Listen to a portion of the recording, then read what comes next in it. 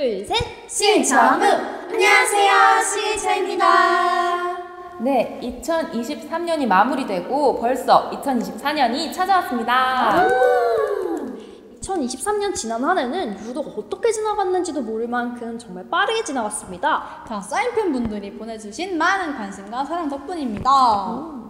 2024년도에도 저희에게 쏟아주신 사랑과 관심을 소중하게 하며 저희와 함께 매일매일 선물처럼 느껴질 수 있도록 열심히 달리겠습니다. 새해에도 늘 건강과 행운이 함께하길 바라며 2024년도 즐거움 가득 선사하는 시그니처가 되겠습니다. 안녕!